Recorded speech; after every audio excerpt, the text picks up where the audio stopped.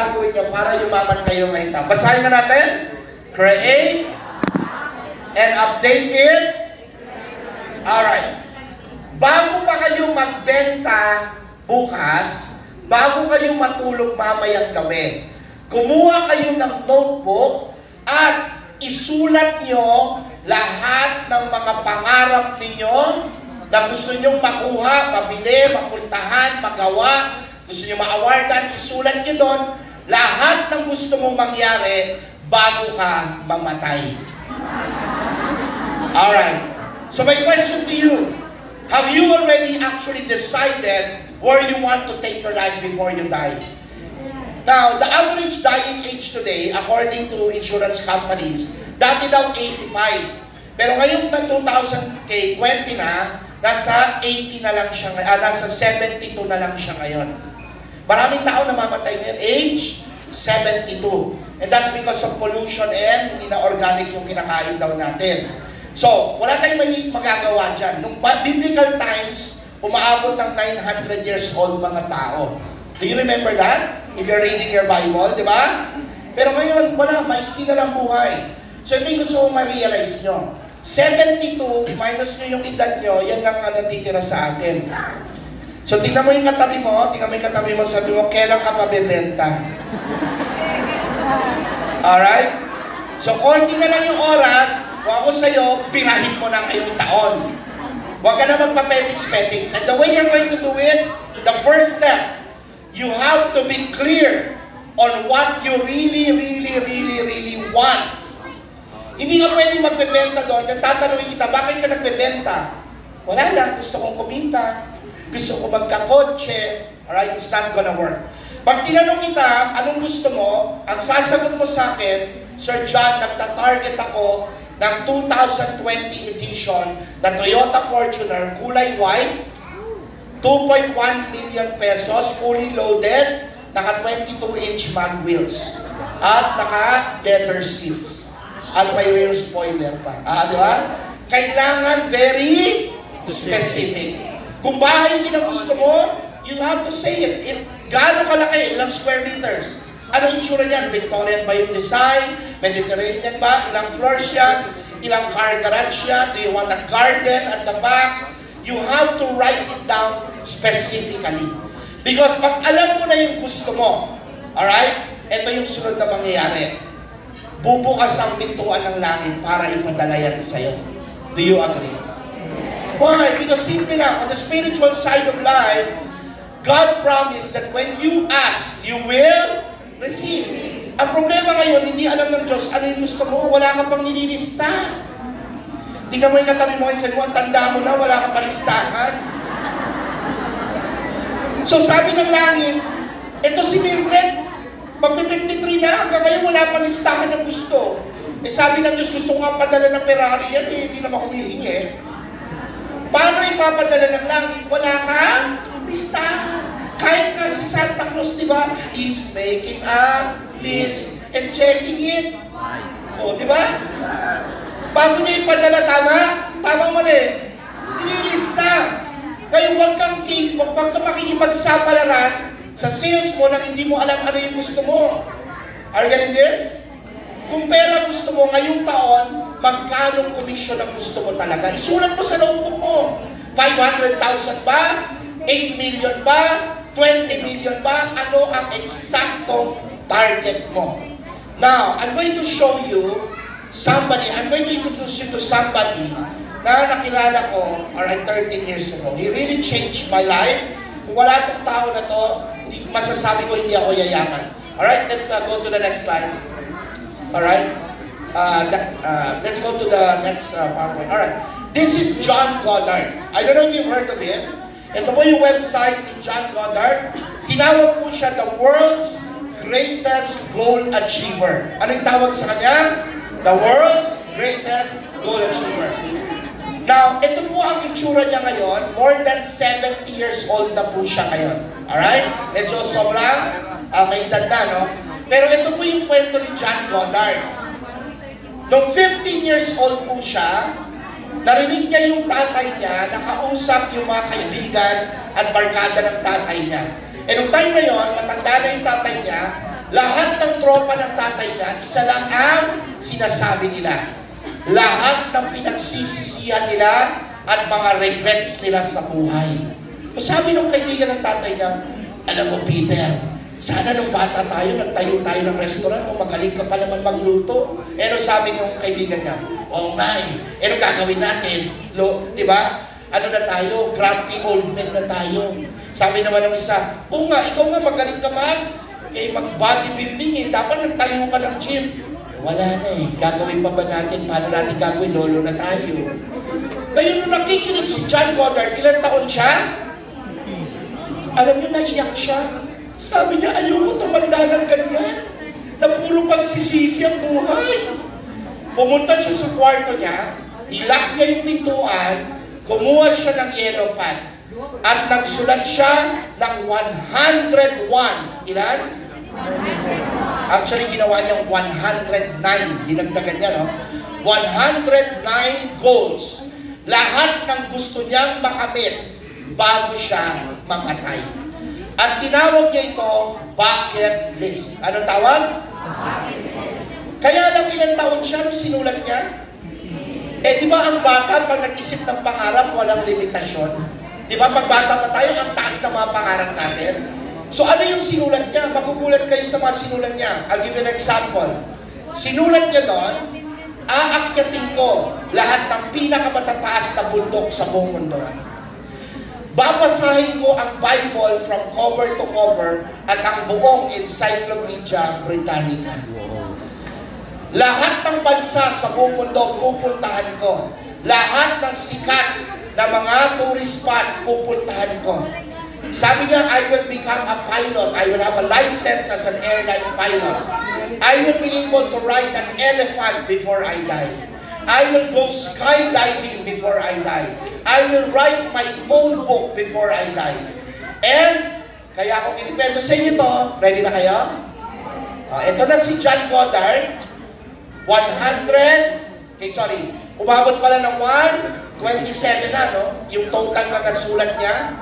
Pero, ang good news ko sa inyo, out of the 127 na sinulat niya nung 50 years old siya, siyam na lang ang hindi pa niya nagagawa. Wala bang palakpak? So, tingnan natin yung listahan niya. Let's move to the next slide. Alright. Ito po, sabi niya, I will go whitewater rafting. May whitewater rafting dito sa CDO, di ba? Pero sabi niya, mag-whitewater water rafting ako in the most dangerous rivers around the world. So he went whitewater rafting in the Nile River, Amazon, Congo River, Czech, Colorado River, Rio Congo. Huli ko siya napanood sa CNN. He is already 70 years old. Nag-weightlifting siya ngayon, nag-training siya para mag-whitewater rafting in the most dangerous river in the world, the Yangtze River. Tatapusin niya yung listahan niya. Sabi niya, I will go to different countries and learn their culture. Nakapunta na siya sa New Guinea, Brazil, Borneo. Let's look at the next slide. Alright, pasok tayo sa next slide. Australia, Kenya, nakapunta na siya ng Philippines, Tanzania, Ethiopia, Nigeria, Alaska. Tingnan mo nga yung katabi mo ngayon. Sabi mo, saan bansa ka na nakapunta? Then sabi niya, alright, aakyatin ko lahat ng pinaka matataas na bundok. Nakakyatin siya sa Mount Kilimanjaro, Mount Ararat, Mount Fuji, Mount Vesuvius, Grand Tetons. Alright, ang hindi pa lang niya nakakyat yung Mount Everest and so on. Then look at this. Visit every country in the world. 30 na lang ang kulang niya. Imagine that. They learn how to fly an airplane. Nakuha niya yung kanyang license as a pilot. Let's go to the next slide. Alright, tingnan mo yung katabi mo ngayon. Sabi mo sa katabi mo, ilang bundok na naakyat mo? Malasag. Si Sir daw, dalawa pa lang eh. Malasag Alright. Sabi niya dito, magda-diving daw siya. Scuba diving. In Fiji Islands, Red Sea, Bahamas, Czech. Lahat yan nakapag-scuba diving na siya. Nang tingnan mo yung katabi mo ngayon, sabi mo sa katabi mo, ilan na ang nasisiran mo? Ano ilan na? Bunbun. Okay. Then, pupuntahan niya lahat ng tourist spot around the world. He was able to go to the Great Wall of China, Easter Island, Vatican City, the Taj Mahal in India, the Eiffel Tower, the Blue Grotto, the Leaning Tower of Pisa. Tingnan mo yung katabi mo ngayon sa mo, ilang tourist spot na ang naikutan mo around the world. Alright. Next. Become an Eagle Scout. Ride a hot air balloon. Play the flute and violin. Check. Type 50 words a minute. Learn water skiing. Go on a church mission. Nagawa na rin yan. Learn fencing. Let's go to the next slide. Alright, yan. Uh, learn jujitsu. Sa lahat ng nilagay niya, ito yung kinakabahan siya na baka hindi na niya magawa. Sa lahat ng nilagay niya, ito yung problema niya ngayon. Appear in a Tarzan movie. Ay. Naghahanap daw siya ng producer na kukunin siya na siya si Tarzan. Sa sobrang tanda niya, wala na daw nagkaka-interest sa kanya. Write a book na gawa niya. Right, run a mile in five. Okay, let's go to the last part. Ito yung pinaka-exciting. Read the entire Encyclopedia Britannica. Alright? Malapit na rin siyang matapos. Alright? Actually, na-miss ko lang kanina, pero nabasa niya na ang buong Bible. Tingnan mo ngayon, katabi mo ngayon, sabi mo, in Genesis ka pa lang yata. Alright. Now, okay, let's go to the last slide. Alright, look at this. 126, marry and have children. And last goal niya, live to see the 21st century. 21st century is the year 2000. Ano yung nangyari sa kanya noong 1999? Na-diagnose siya with fourth degree cancer, fourth stage cancer. Pero alam niyo, sabi niya sa mga doktor, hindi ako mamamatay. Sabi ng doktor, hindi na, mamamatay ka na. May cancer ka, tanggapin mo na. Yung mama, tinatanong siya ng doktor, bakit hindi mamamatay? Sabi niya kasi 15 years old pa lang ako. Sinulat ko na sa yellow pad na malalampasan ko ang year 2000. Aabot ako. You know what? Three months after, a miracle happened. Pag-diagnose sa kanya, totally nag-heal yung cancer niya. Palangpakan naman natin. This is the power of goal setting. So ngayon, tingnan mo yung katabi mo, tingnan mo yung katabi mo, sabi mo, asan ang bucket list mo? Alright. Now, 13 years ago, John? Goddard challenged me to make my own list. Alright? So gumawa ako, no? Ang bucket list is 101 goals. How many ang isusulat nyo? Ah, ito na. Unang assignment nyo, lilinawin nyo ano yung goals ninyo. 101 ang isusulat ninyo. 30 years ago, I did the same technique. And you know what? It's already 13 years since una ko ginawa yung listahan ko. Alam niyo, I'm proud to say to you, wala akong pera nung ginawa ko yung listahan ko, pero nung sinulat ko na siya at trinabaho ko, right today, it's already 2000, in 20, I was able to achieve 74 already. Tawa ng tawa yung nanay ko nung binasa yung listahan ko. Alam niyo nilagay ko sa listahan ko? I will have my own billboard in EDSA. I will drive okay, my own BMW sports car. Sabi ko, I will meet kay presidents of different of different countries will invite me for dinner and I will be having dinner with Hollywood stars. Sabi ng nanay ko, grabe ka naman mag-ambisyon, para totoo. Pero alam niyo, everything starts with a dream. Pag may pangarap ka na, susunod ang benta mo. At taasan mo siya. Bakit? Tandaan niyo na to ha. Ito ang prinsipyo ng pagyaman sa sales. Are you ready? The size of your goals is equal to the size of your monthly commissions. Pag ang isang ahente nangangarap ng makabili ng Yamaha na motor na tipi 50,000, ang benta niya, okay, di ba, isang unit lang sa isang taon. Are you following? Pero pag dumating yung araw na nag-decide kayo ngayong gabi na hindi kayo titigil, hindi kayo makabili ng sarili nyong Mercedes-Benz, lilipat na yung benta nyo ngayong taon. Tingnan mo yung katabi mo ngayon, sabi mo, taas-taasan mo na yung pangarap mo. Bakit? Because kung ano yung hiningi mo, yun lang ibibigay sa'yo. Tama o mali? And I tell you, remember this, with God, all things are possible. So bakit ka humihingi ng 10,000 or 20,000 na komisyon or 90,000 na komisyon? Isang unit lang yun. Bakit mamayang gabi hindi ka magdasal, Lord, padalan mo ako ng 8 billion pesos kayong taon? Libre ba mangarap? O, libre naman eh, ba't ayaw mo magdasal? Alam niyo, mga Pilipino kaya walang pera, ito pinagdadasal nila. Lord, sana makahabot lang ang gawin ng pasal, tulungan niyo naman kami. Eh, yun lang talaga ibibigay sa'yo. O, yung iba ito, mag ganito magdasal. Lord, pinapalo up na ako ng manager ko, wala pa rin ako makipapakitang benta. Sana makabenta kahit isa lang po. Ay, isa lang talaga ibibigay sa'yo. Eh, yun lang pinagdasal mo eh. Tama o mali? O, tingnan mo yung katabi mo, sabi mo, laki-lakihan mo na yung hinihingi mo. Everybody give a high five to your partner, sabi mo, we have a multi-millionaire mind. Yeah, multi-millionaire man. Alright, so with that, let's go to the next slide. Alright, basahin natin. Ready, one, two, three, go.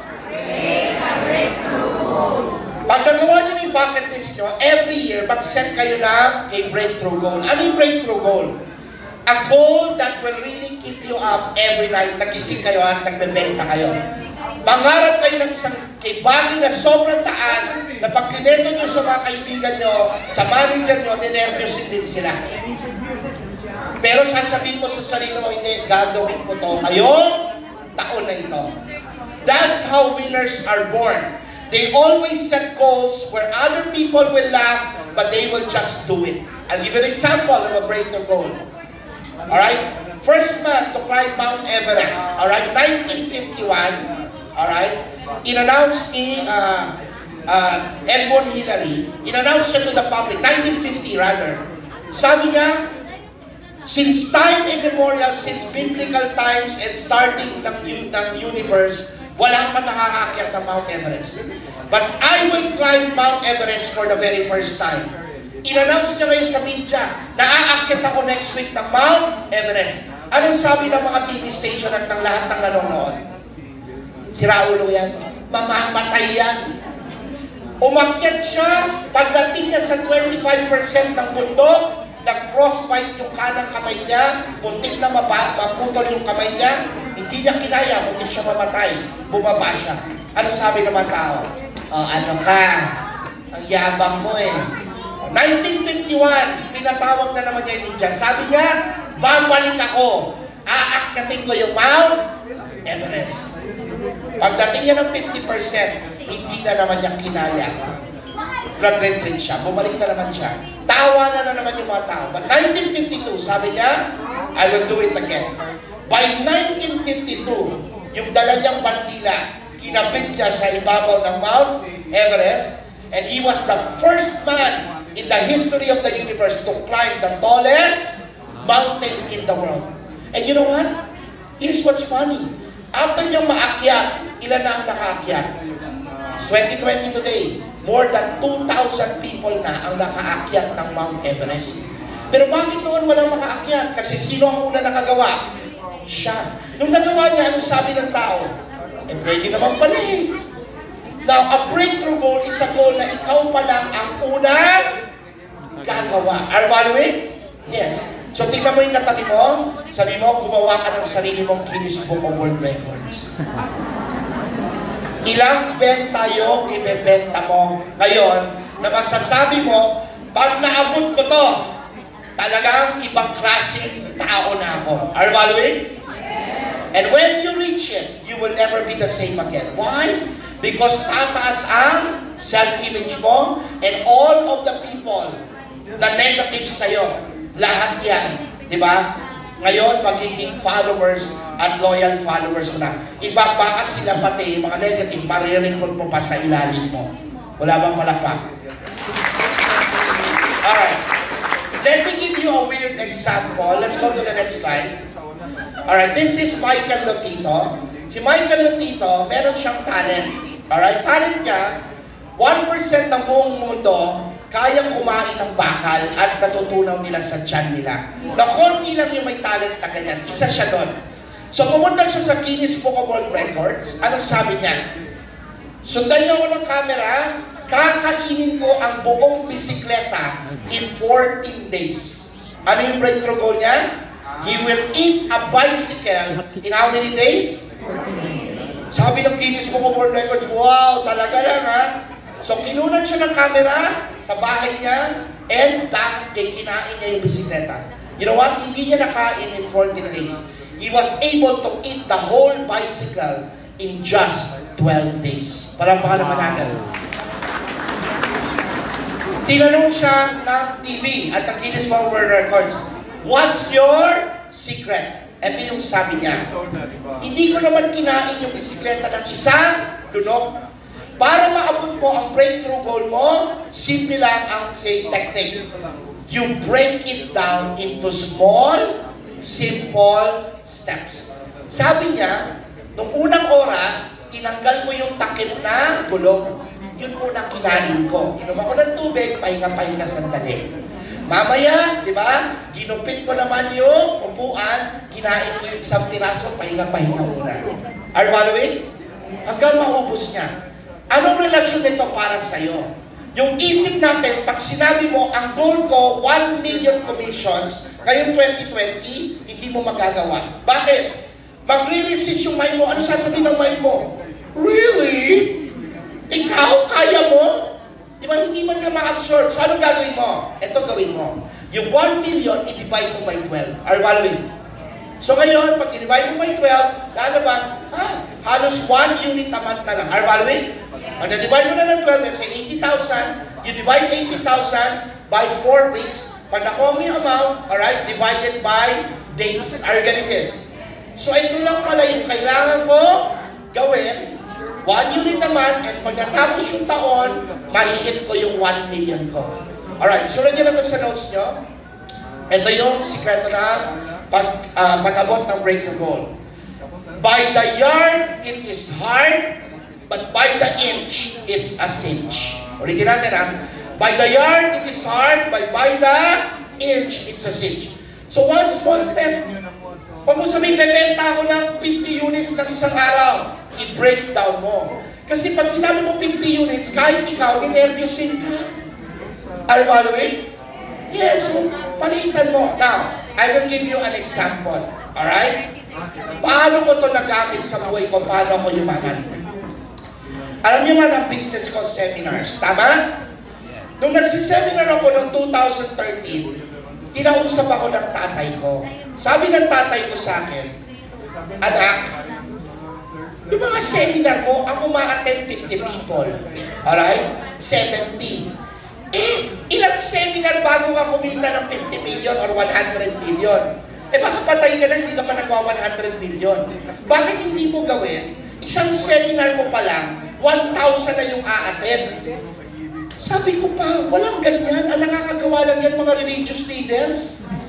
Di hindi ako si Brother Bo. Hindi ako si Brother Mike Pilate. Di daming taong dadating. Sabi niya, alam mo, ikaw nagtuturo na walang imposible, ba't di mo magawa? Alam, challenge ako ng tatay ko. Sa sobrang challenge siya sa akin, nag-meeting kami ng staff ko. Tumawag ako sa SMX Convention Center, nag-book ako ng room na kasya isang libong tao. Sabi niya, pinakamataas na benta namin, 100 participants. Ngayon, yung next seminar ko, ilan ang target? 1,000.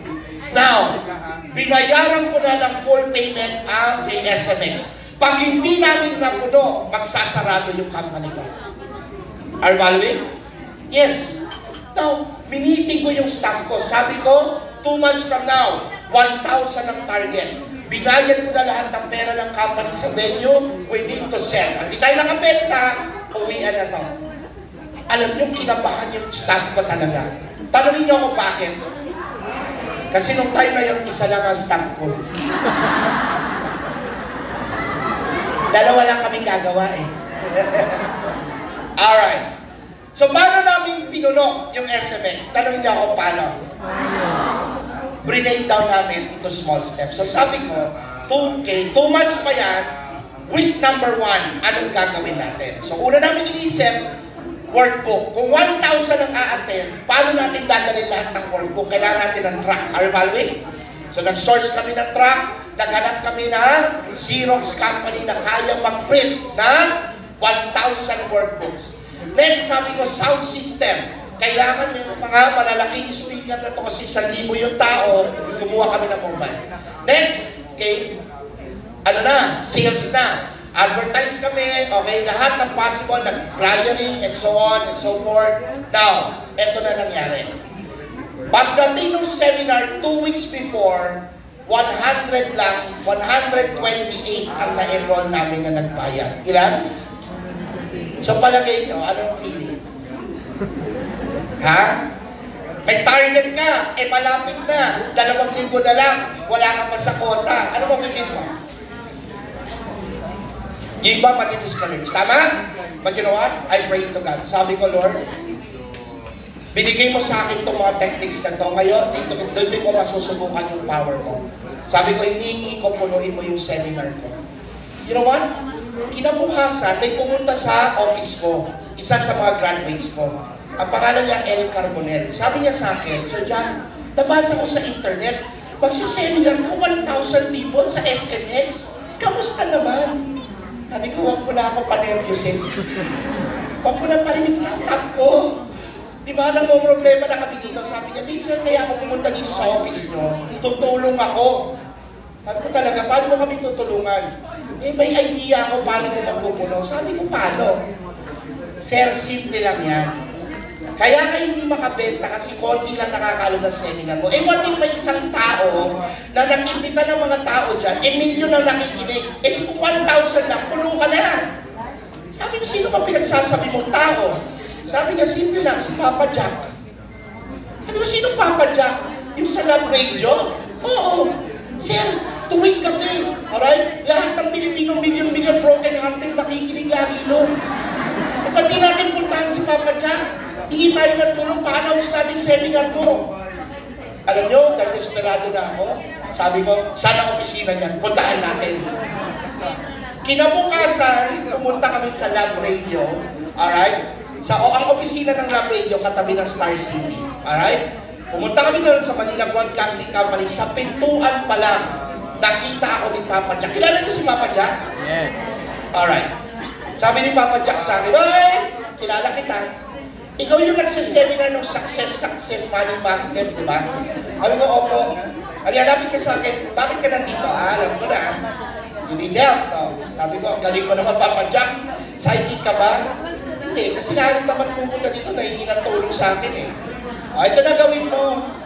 Gusto ko yung ginagawa mo, marami ka natutulungan ng Pilipino. Kuha ka ng index card, lagay mo yung date ng seminar, magkano bayan, saan makakabili ng ticket. Ako na bahala. So binigyan, binigay ko sa kanya. Nung gabi, inon namin yung dalawa ni El, yung radio. Every hour, sabi nyo nga, every hour, ina-announce niya yung seminar. Ito yung announcement niya. Ah, sa mga broken hearted dyan, tumawag lang kayo at makipag-usap kay Papa Jack at bibigyan ko kayo ng advice. Pero pag pera ang problema nyo, wag ako ang puntahan nyo, si John Kalu. Magkakaroon po ng isang seminar sa SMX Mall of Asia this coming, ganitong day. Ito po ang kayo mabibili ang tickets at tuturuan niya kayo paano kayo aasenso sa buhay ninyo. Every hour yan for two weeks. Alam niyo, pagdating ko sa event, magugol kayo. Ready na kayo? Bago yung event, kalahati na ang nabenta namin, 500. So happy na ako. Pero pagdating ng event, pagparada ko sa SMX, inaway ako ng security guard. Sabi niya, Sir, wala na akong parking dito sa SMX. Punta kayo sa Mall of Asia, lumakad na lang kayo punong-puno yung yung uh, SM. Sabi ko, ako may, may seminar pa naman ako. Eh baka yung mga mag-a-attend, baka hindi na maka-park dito. Eh wala ko tayong magagawa eh. Hindi ko alam, basta may event ko dyan sa taas. Alam nyo, pumark ako sa SM, nilakad ko, pagdating ko sa SMX, nilapitan ako ng manager. Anong sabi ng manager sa akin? Mr. Calum, buti naman dumating ka na. Are you crazy? Nagbook ka sa amin ng 1,000 na room. Alam mo ba kung ilan ang nakapila sa labas? 4,000 people. So, Mr. Calum, may tanong. bubuksan ba namin yung ibang hall o hindi? Dahil magkakastampid dito. Sabi ko, no choice. Good problem. Buksan nyo lahat. Hindi na ako magtatagal. Let's go to the next slide. Alright? Seminar ko, apat na libong tao. Wala bang palakpak? Okay ba? By the way, ang bayad sa seminar ko noong time na yun, 3,000. Isang araw na income ko, 12 million pesos. Wow. Wala bang palakpak? Tingnan mo yung katabi mo ngayon, sabi mo, taas-taasan mo ang pangarap mo. Bakit ka bibenta ng isang unit? Alam niyo mga mga seminary, sila ng paglalong-lalo makakabenta ng isa. Malapit ka na mamatay. Ilang taon na lang. Kung may gagawin ka tama sa sarili mo ngayon, now is the best time to sell. Palakpakan naman natin. Timing ka. Ang dami ng incentives, tama? Bagong launch-launch yung project. Ano pang inaantay mo? Alright? This is not the time na matutulog tayo. Alright, 2020. Ano ba ibig sabihin ng 2020? Malinaw na?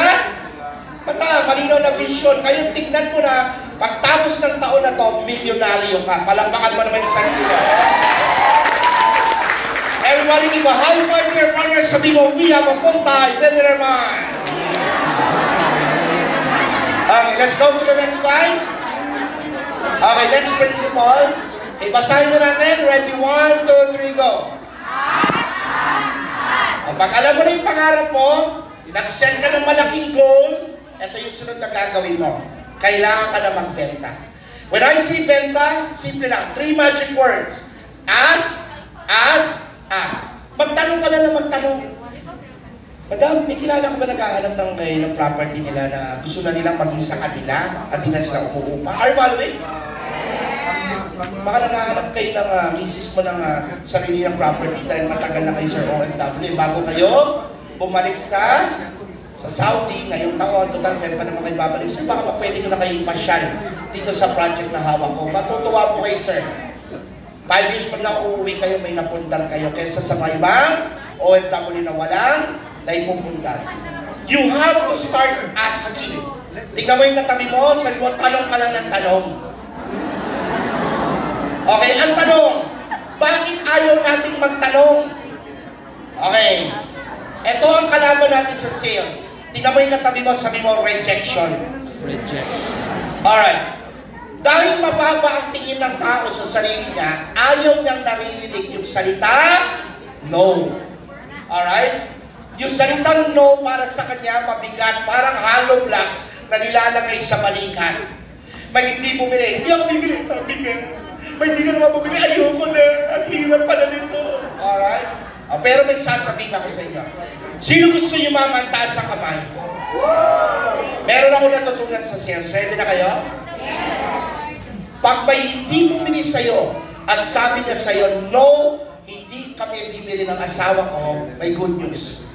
40 years na, alright? Hindi naman 40, 40 years old na ako, mahigit, alright? In the last kay 20 years ko ng sales, ito yung pinaka-importante natutunan ko.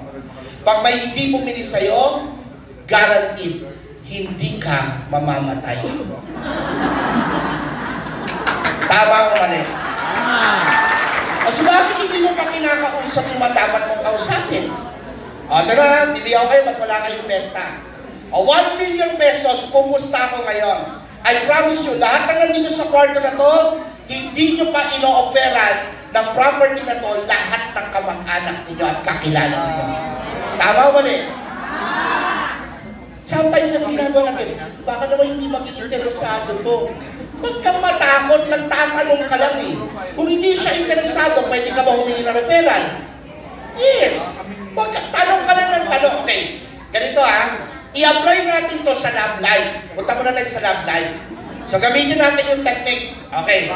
Sige, tingnan nyo ha. Sino di... Okay, ito yung rule.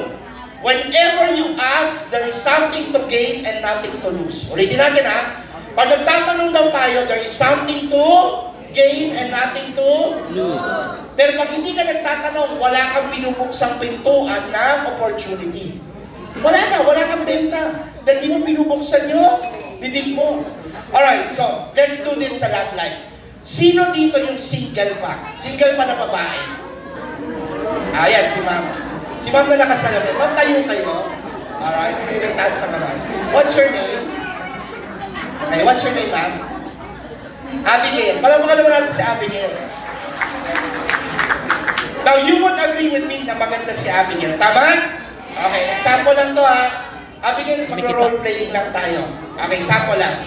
Let's say, binata pa si Sir John. Alright, meron na ako ha. Pero, sample lang. Nagkakilala tayo, Abigail, sa isang birthday party. Now, nagpalitan tayo ng cellphone at medyo nagkain, nagkaigihan tayo.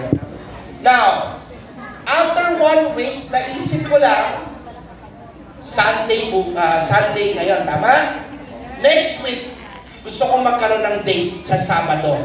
Ang tanong ko sa inyo, may ka-date ba ako ngayon o wala? Ulitin natin ha. Gusto ko magkaroon ng date sa Sabado. Eh sa sitwasyon mo ngayon, may ka-date ba ako sa Sabado or wala? Sabi nyo nga, wala. Wala. Andito ako nakatayo, di ba? Wala.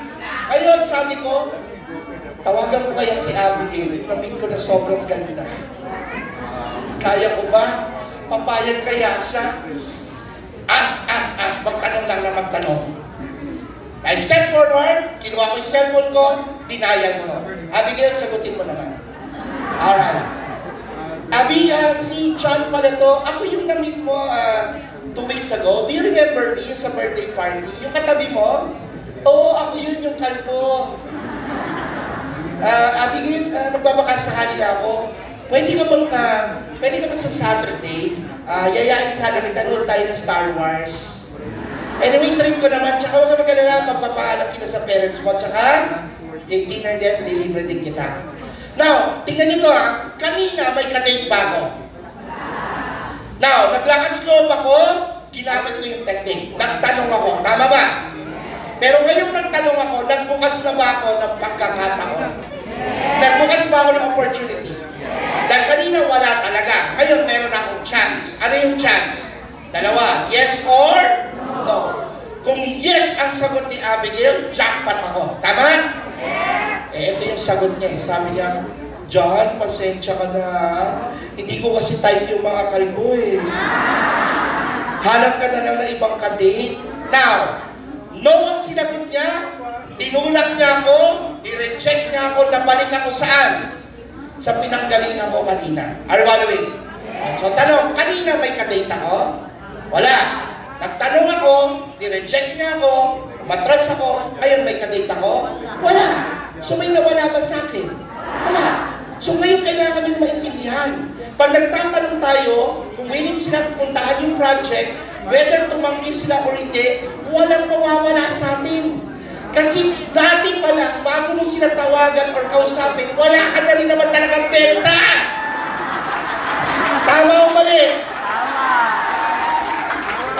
Ano ba mawawala sa'yo? Ay bakit ayaw mo tumawag? Sa isang linggo tinatawagan mo, dalawa lang eh, kaya wala kang benta eh. Tingnan mo yung katabi mo, kaya tingnan mo yung katabi mo. Sa'yo sa katabi mo, partner. Pag hindi mo pa yan tinawagan, ako ang makakabenta dyan. Everybody give a high five to your partner. Sabi mo, we have a multi-millionaire partner. Sino lang? Magtanong, magtanong. Magtanong. Alright, now, sa susunod na sasabihin ko sa inyo, bigla kayong magiging milyonaryo. Are you ready? Ito ah. Para mas lalo nyo ma-appreciate tong technique na to, simple to ha, pero napaka-powerful nito. Alam niyo, anong isang araw, uh, kadiner ko si Yorme, si Mayor ng uh, Manila. Ah, tinawagan ako ni, ah, ni Mayor Isko. Sabi niya, John, dinner tayo sa, sa BGC. Ano niyo, hindi siya magaling mag-English. Alright? Kaya nag-apply siya sa Harvard. Eh, part pa rin ng application, gagawa ng essay. Alright? Eh, hindi nga siya magaling sa English dahil basurero siya eh, di ba? O, yun. So, submit siya, i-reject. Ulitin mo yan. Are you following? Palpak yung ginawa mo. O, pero ginawa niya. Nakakuha siya ng feedback. Ngayon, eh, yung misis niya magaling mag-English. Sabi niya, ikaw na nga gumawa. O, tinira ng misis niya, ni-resubmit niya, pumasa. Are you getting this? So just keep on going. Tanong lang tayo na. Tanong. Now, ito yung importante. Ready na kayo? Okay. Ito yung mangyayari sa inyo pag nagbenta na kayo. May tinatawag tayong sales closing ratio. Ano tawag? Uh, Example ng closing ratio. Sa 20 qualified prospects na inimbita nyo sa trading, most likely, apat lang ang papayag. Tama? Hindi naman lahat sasabihin nyo na lang, ah, sasama ko. Sa apat, ilan ang mabibenta mo? Isa or dalawa. Or ano sabihin natin isa. So in this example, ano ang ratio mo? 20 is to 4 is to 1. O shortcut din natin. Sa apat na triniping mo, may chance na makabenta ka ng isa. Alright. Na meron na ako sasabihin sa iyo na secret ng sales. Ready na kayo? Ready na kayo? Ang benta ng sales ay hindi galing dun sa bumibili. Ang commission mo ay galing sa lahat ng hindi bumibili. So, tingnan mo yung katabi mo, tingnan mo yung katabi mo, sabi mo, tuwing hindi ka nakakabenta, sige sabi mo, tuwing hindi ka nakakabenta, Uy, hindi ka nakakabenta. dyan ka kumikita. Okay, ang paliwanag ko sa inyo, paano ha? na.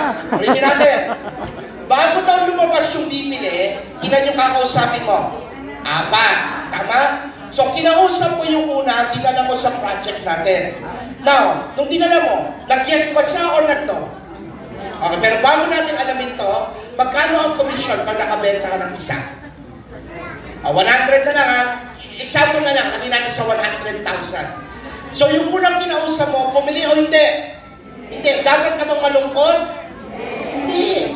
Yung iba nalulungkot, ayaw na magbenta, eh, hirap pala. Kasi yung hindi bumili, ano nangyari? Binayaran ka na niya ng 25,000 na komisyon. Remember, apat lang yung kailangan pag, pag nakaapat ka na lang, basta yung 100. Are you following? Yung hindi bibili kasama sa process ng sales. Kaya kapag nakahanap ka na ng hindi bibili, palapit ka na palapit sa bibili. So ngayon, may hindi bumili. Alright, ilan na lang yung kailangan mo? Tatlo. Tatlo na lang. So magkano na yung kinita mo? 25,000. Kaya nga pag hindi ka nakabenta ngayon, tawagan mo best friend mo mamayang gabi. Best friend, magpapasoft drinks ako. Sabi niya, bakit? May hindi bumili sa akin, may 25,000 na ako. Tatlo na lang, lalabas na yun, buong 100. Are you following? O, kaya bukas, nag-tripping ka ulit. Yung pangalawa, bumili o hindi? Dapat ka ba malungkot? Eh, bakit? Magkano nakinita mo? 50,000. Nakadeposit na sa bangko ng utak mo. Are you following? Kaya excited ka sa ano, sana na hindi pa bumili. Wow! Ha? Kasi palapit ka na palapit sa bibili. Tama? Dati pa may hindi bumibili, ano ba naman to? Sinayang pa yung pa yung allowance mo, pera, hindi naman pala bibili, hayop. Di ba? Galit ka pa. Kaya hindi na kasi, dahil hindi mo yung hindi mo bibili, magkano binabayad sa'yo? 25,000. O ngayon yung pangatlo, bumili o hindi? O magkano nakikita mo? Di ba? Magpaparty ka. oh, yung ika-apat, finally, dadala mo yung ika-apat, bumili o hindi? Magkano yung lumabas? Total ang 100, pero lahat yun kasama sa process. Hindi ka makakabenta kung wala kang hindi, wala kang nasasalubong na hindi bibili. Walang tao na sobrang galing lahat na bibentahan niya na, walang hindi bumibili. Are you getting this? So ngayon, ito na yung contest natin. Ready na kayo? Ngayong alam mo na na kay, ang benta pala ay galing sa hindi bumibili yung commission. Ang contest natin simula bukas, paramihan ng hahanapin na hindi bibili. Sino excited? Taas ang kamay. Ngayon, kasi ito yung tinuro sa'yo eh. Ang hahanapin mo daw yung bibili. Ngayon, pag hindi mo bili, nasasaktan ka ngayon mo, alam mo na hindi bibili, wala kang pakialam. Eh, di ba? Kakabahan ka ba tumawag? Hindi. Kasi wala kang pakialam. Pag hindi siya bumili, okay, may 25,000 ako. Alam niyo kung sino nagturo sa akin ito? Si Brian Tracy. Pinakamagaling na sales trainer ng buong mundo. Bata pa lang ako, nabasa ko yung libro niya, ganun siya mag-isip pag nagbebenta siya. Now, na-attempt ko yan. Kaya sa opisina namin, nung uh, nag-work ako dati sa Makati sa sales, pagdating ko sa office, Isa lang ang tanong ng boss namin palagi. Oh, magkano benta mo ngayon? Right? Yan ang laging nila. Kaya ito yung itsura ko pagdating ko sa office ha. Pagpasok ko pa lang at pagbalik ko sa office, Wow! Yes! Yes! Yes! Sabi ng boss ko, Hoy, kalbo, tingnan dito. Ano, may benta ka na? Sabi ko, wala. Eh, bakit ka excited? Sir, dalawa ang hindi bumili ngayon. Palapit na ako ng palapit sa bibili. Kaya wag kang, kaya wag kang kumontra. Diba? Ina ko kasama ko nalungkot eh. Pag hindi nakabenta ako masaya. Alam mo na, sa komisyon mo galing sa hindi bibili, ito na gawin mo. Lahat ng makikita mo sa Cagayan bukas. Di ba? Magbabiyahe ka bukas, tama? Lagyan mo yung noon nila 25,000 ito. Kausapin mo ko at tanungin mo ko kung interesado kong bumili. As, as, as. Yun na naman kailangan natin gawin eh. Hindi natin alam eh. Kaya nga tanong lang tayo na, ano, pag i-reject tayo, so what? Hindi naman ako namatay. Tama? Walang-wala ka na rin naman. O, tingnan nyo to ha. Ito mas madaling maintindihan. Kuha tayo ng dalawang jar. Sabi nyo nga jar. In Tagalog, garapon. Yung una, malaking garapon. Alright? Lalagyan natin ang pangalan, no, hindi ako bibili. Yung maliit na garapon, ganito lang kaliit, lalagay natin, yes, bibili ako. Alright? Are you following? Sa ibabaw ng maliit na garapon, lalagyan natin siya ng 1 million commissions. Alright? Now, bawat kakausapin natin, i-represent natin ng Holland. Ano yung Holland? Marbles? Okay. So yung una mong triniping, bumili o hindi? O saan natin ilalagay? Sa malaki o maliit? Sa malaki. Yung pangalawang triniping mo, bumili o hindi? Saan natin ilalagay? Sa malaki. Yung pangatlo, bumili o hindi? Saan natin ilalagay? So finally yung ika-apat, bumili o hindi? Saan natin ilalagay? Ilagay mo sa maliit. So ang tanong ko, paano mapupuno yung maliit? Ano yung kondisyon na dapat mangyari? Ano yung dapat mangyari? Bago mapuno yung maliit ng holen ng yes, kailangan mapuno muna yung garapon na ng no. Pag napuno na itong garapon na malaki na hindi bumibili, puno na yung garapon ng maliit ng yes, may 1 million ka na. Palampakan naman natin. Sino excited dahil sa prinsipyong tinuro ko sa inyo? Wala na kayong takot bukas. Lahat, o-operan nyo na. Taas sa mga. Di ba ano sabi ng mentor ko? The only role you have to do is to tell the whole world about your project. Are you following? Because we will never know kaya saan magkagaling yung next na benta.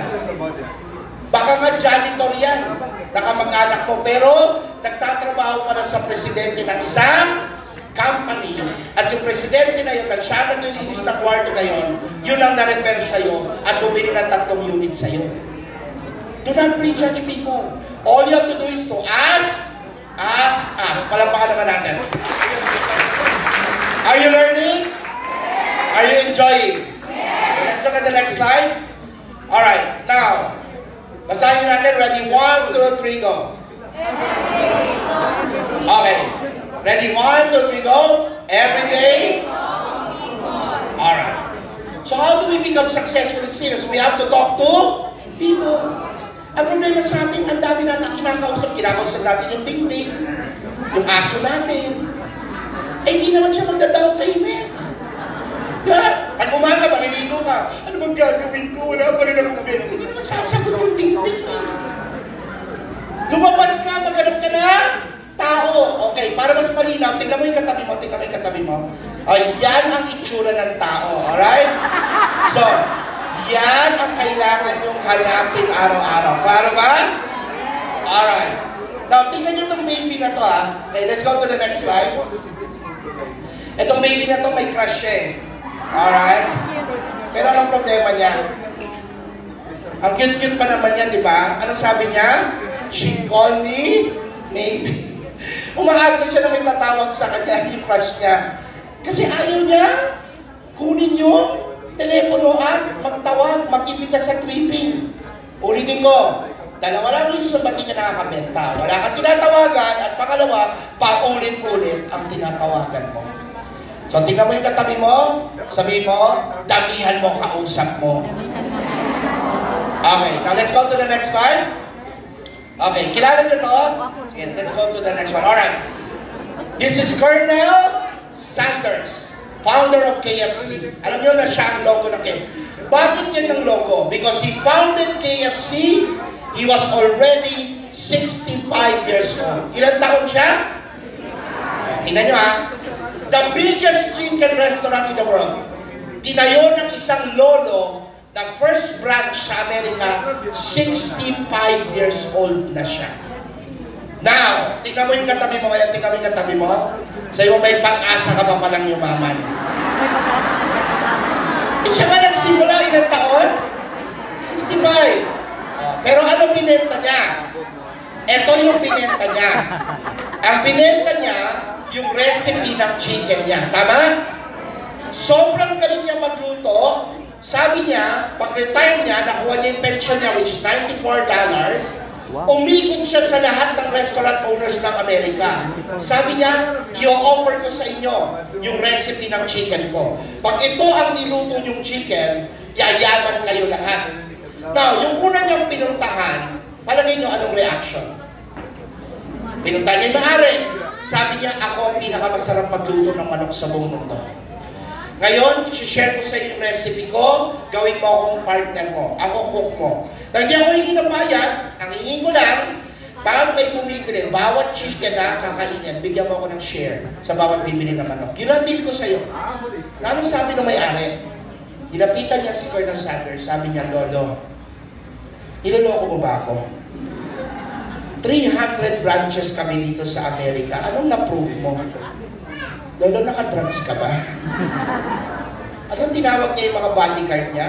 Binuhat nila si Colonel Sanders, inulog nila sa basurahan. Tinadyakan pa nila. Sabi niya, sinaulo yan.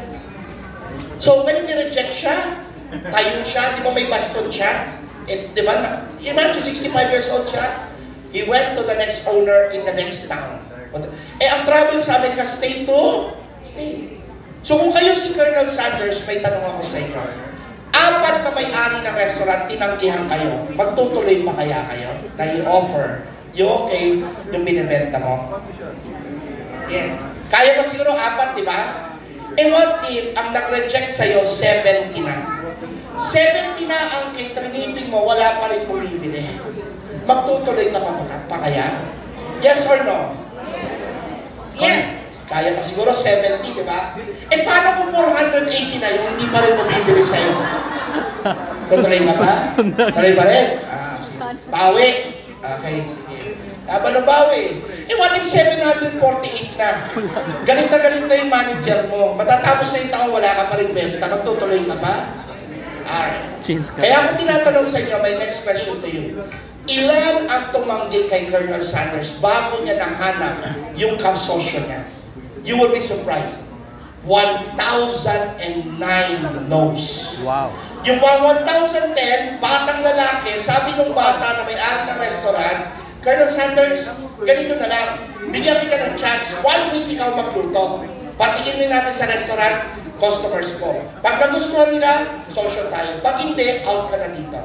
Nung hinawakan niya yung kawali, yung pumunta ng Monday, ng Tuesday, ng Wednesday, dinala ang buong barangay nila ng Saturday sa sobra.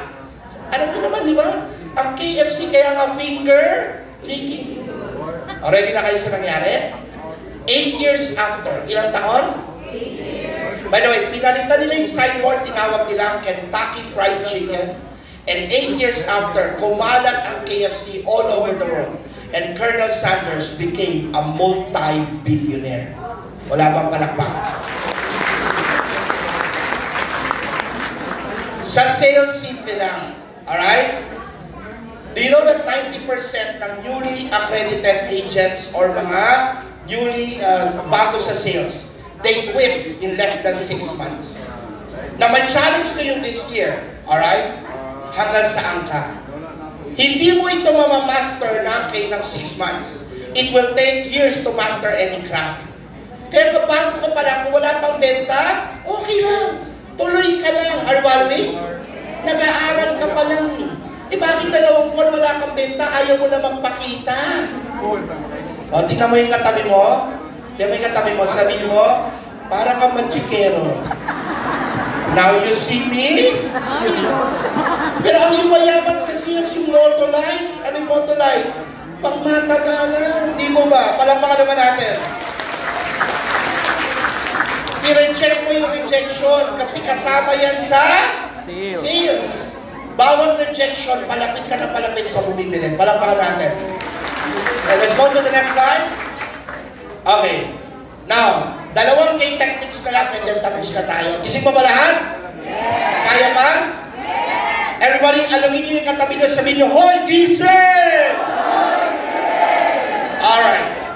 Now, may sasabihin ako sa inyo na malalim na sikreto ng pagyaman. Are you ready? Okay, ito na yung sikreto. Secret number four. Malakas na malakas, yung kulay green, babasahin natin ang sabay-sabay. Ready? One, two, three, go. You are the average people, you are always with. Ano ibig sabihin nito? Simple lang.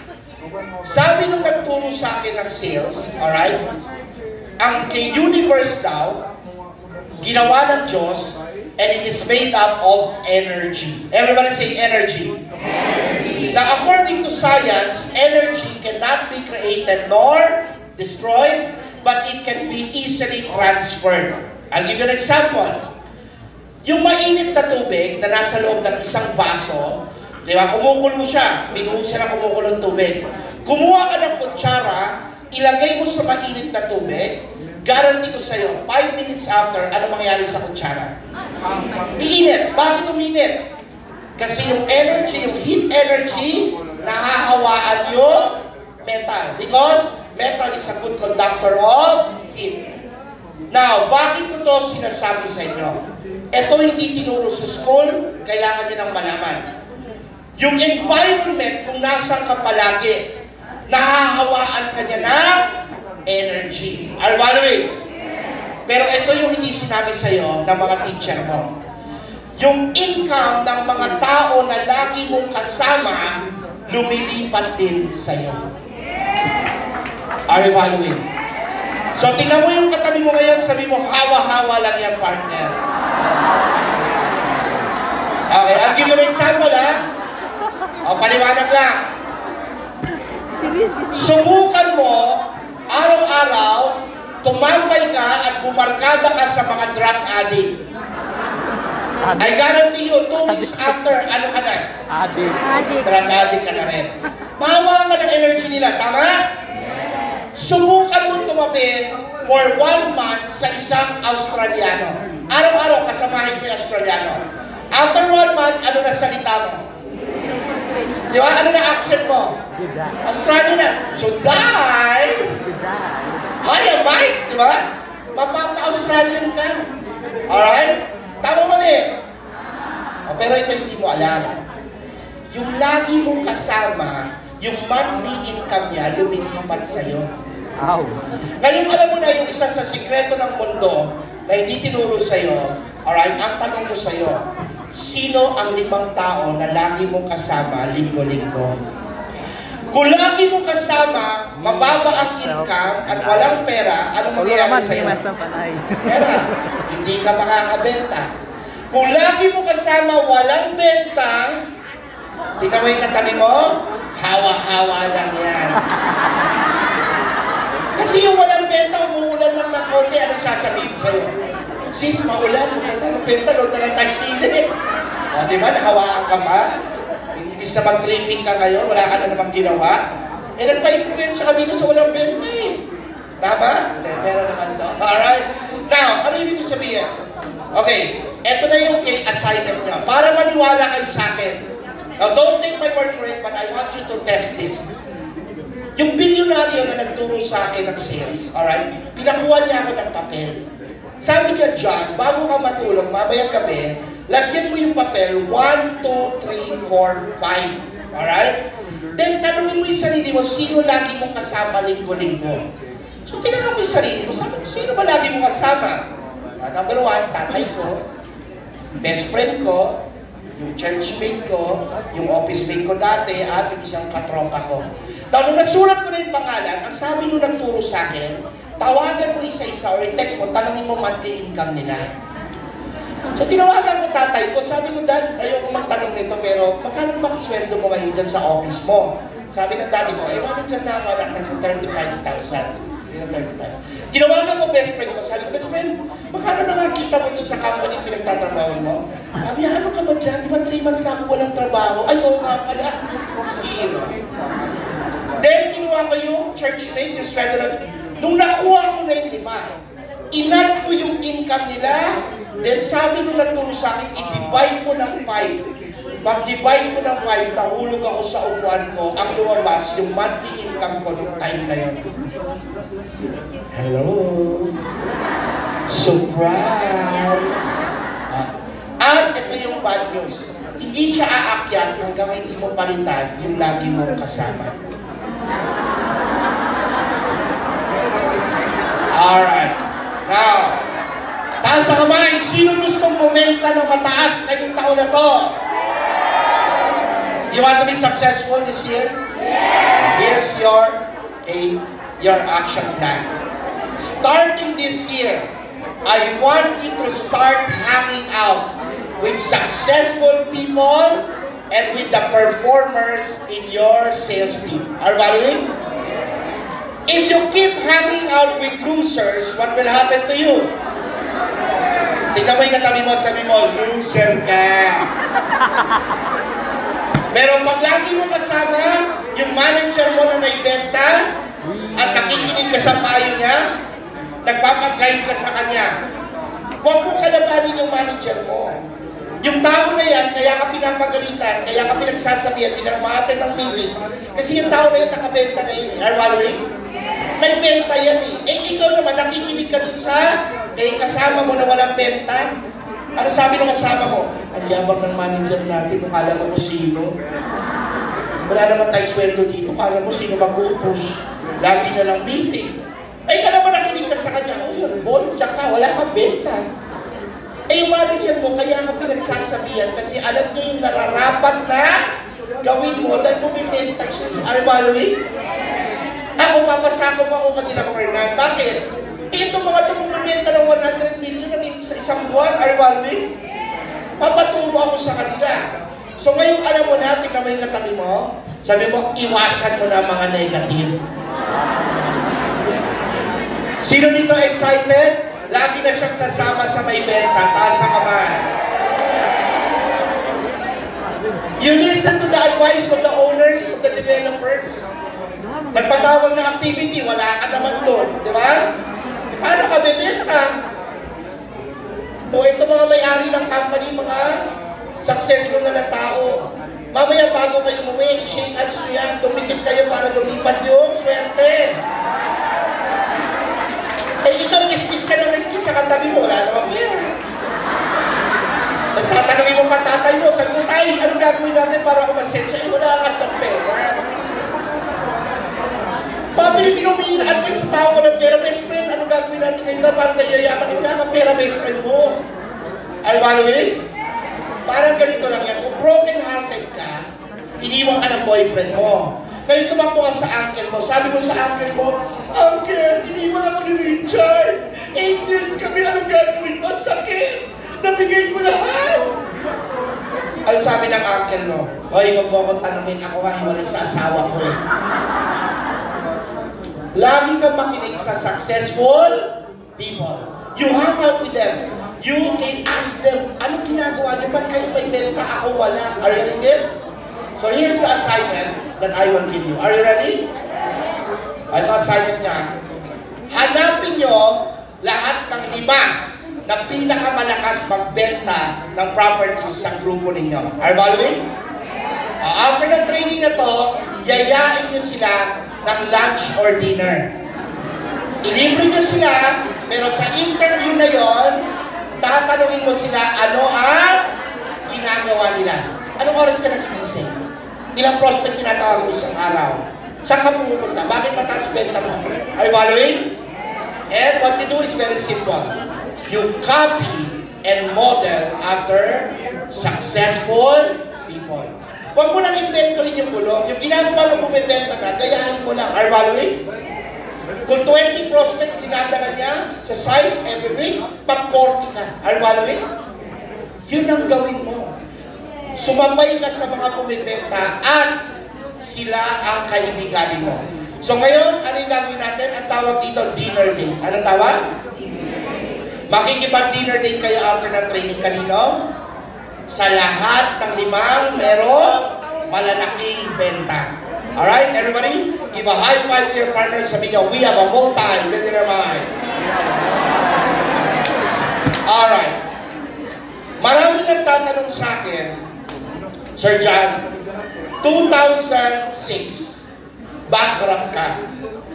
2007, bigla ka naging milyonaryo.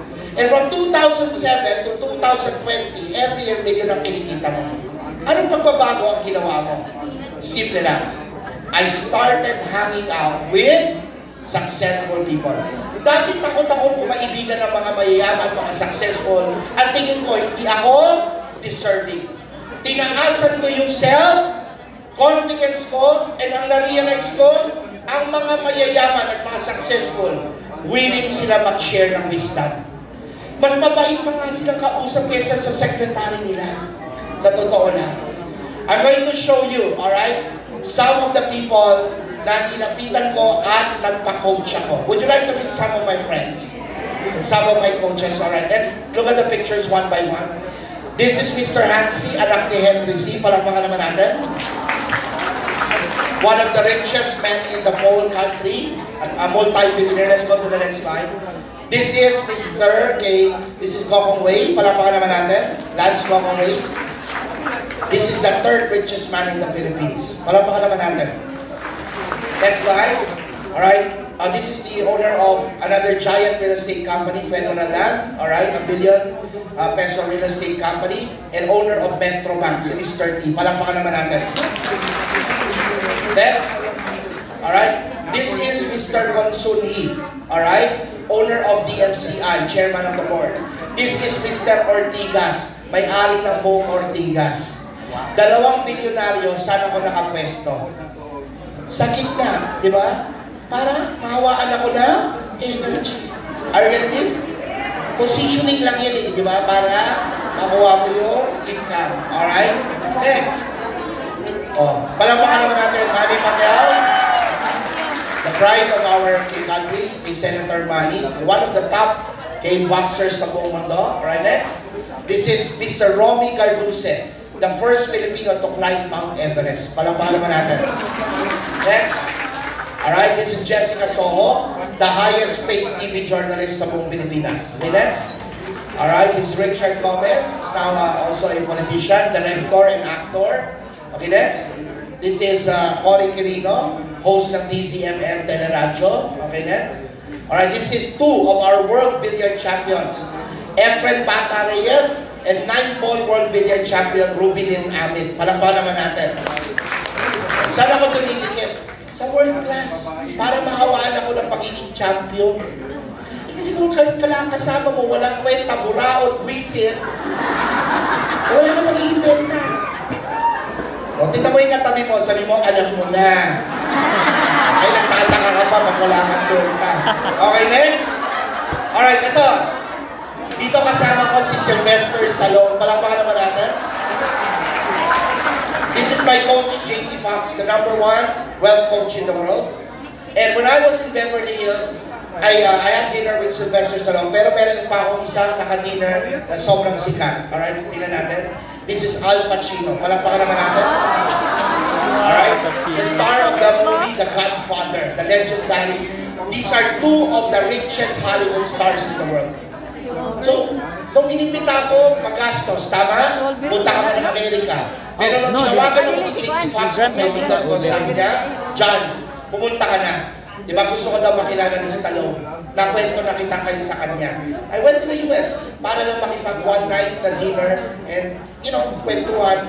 I learned a lot from him. Ang dami niyang shinare na secrets of success sa aming lahat dun sa table. You learn from millionaires. Learn from people richer than you. Stop listening to poor people. Yung paglabas dito at sasabihin sa'yo ng mga kapitbahay mo? Oh, sabi ko sa'yo, mahirap yung real estate eh, di ba? Pinagpipilitan mo, para lang yan sa mga walang trabaho. Di ba? Sisiraan mo yung ginagawa mo. O, tingnan mo sila. Walang kita. Tama? Ay, pag nakinig ka sa mga may benta, nakita mo, katulad yan, o, 11 ang sasakyan. O, di ba? Na brand new. Eh, doon ako makikinig. Tingnan mo yung katabi mo ngayon. Sabi mo, piliin mo na yung lagi mo kasama. Alright. Now, let's go to the last technique. Kaya na ba? Kaya na mo ban sa imo. Last 5 minutes na tayo. Kaya ba? Alright. Basahin na natin yung last key principle for today. One, two, three, go. Alright. Now, if you really want to change your life this year, I encourage you to invest in yourself. Alam niyo, ang seminars ko nationwide, pag may bayan, alright, kumukonti yung tao. Pag libre, ang daming umaattend. Pero pag may bayad na, nawawala na ang mga Pilipino. Bakit? Dahil mas pabor pa sila manood ng sine at lumaklak ng kape sa Starbucks na tingwa 185 pesos isa. Kesa bigyan nila ng karunungan yung sarili nila. Alright. Now, if you have notes, I'm going to give you the ultimate secret ng pagyaman. Are you ready? May nagtanong sa akin, Sir John, kung isa-summarize mo buong buhay mo, sa lahat na natutunan mo na nagpayaman sa'yo, ng isang salita lang, paano kayo maman? Are you ready? Oh, ito yung, ito yung na-research ko. Okay? One word. Everybody look at your partner, tingnan mo yung katabi mo, sabi mo, wisdom. Ang source ng pera natin, hindi galing sa hard work mo. Galing yan saan? Dito. Tingnan mo nga yung katabi mo, tingnan mo yung katabi mo ngayon, mukha bang may laman yung utak niya. Alright. Now, para mas madali niya ma-appreciate, alright, ito na yung sasabihin ko sa inyo. Pakinggan nyo lang ha. Tandaan nyo na to. Babayaran ka lang ng mundo kung gaano ka kagaling sa larangan na pinili mo. Ulitin ko ha.